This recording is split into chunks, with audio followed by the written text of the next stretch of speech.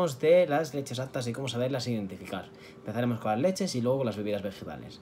Con las leches hay que matizar que prefiero las leches ecológicas ya que tienen menos uso de antibióticos y se está seguras de que la calidad de la leche es de mejor calidad que las convencionales.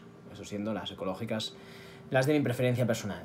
Si podemos elegir las de cabra las de oveja, mucho mejor, ya que tienen menos lactosa, además el calcio es mucho más absorbible y su caseína es beta-caseína, con lo cual se absorbe mejor y no da problemas intestinales tan recurrentes como la de vaca. Eso para empezar, si puede ser fresca y de cercanía, mucho mejor, ¿vale?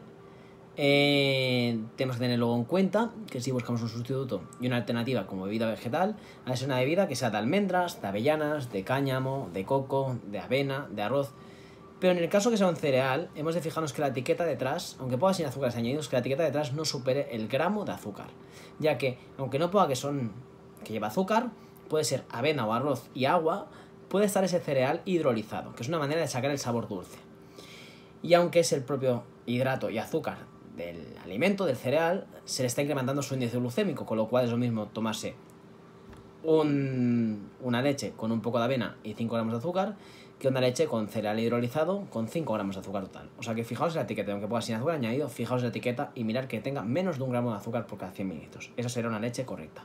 Tanto de avena como de arroz, que de arroz mm, personalmente no he encontrado, de avena sí he encontrado alguna de Carrefour y alguna de Alpro, y después de coco, lo mismo, os he dicho, buscar que no tenga azúcar ni en la etiqueta ni en su composición, que tenga menos de un gramo.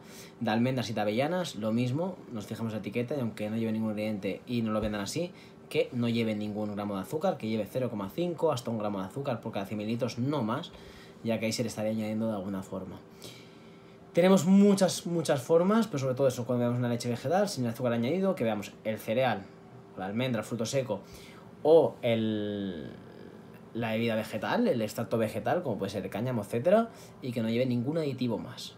¿Vale? Ni emulgentes que no son necesarios, sí que puede llevar una lecitina de girasol, una lecitina de soja puntualmente, y aceite de girasol sí puede ser evitarlo, pero no tiene llevar ningún ingrediente. Agua, el ingrediente en sí, y como mucho un poco de sal. Nada más, ¿vale?